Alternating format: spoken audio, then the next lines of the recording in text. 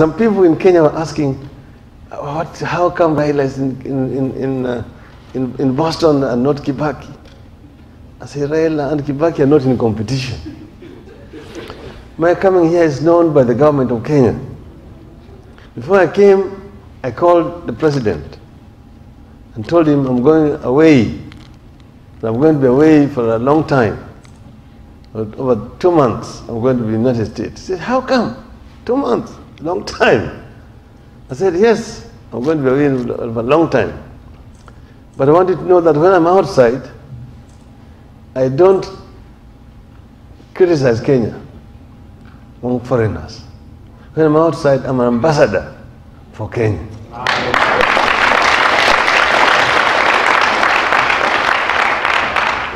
Because our other things are in-house in Kenya, we deal with them in Kenya.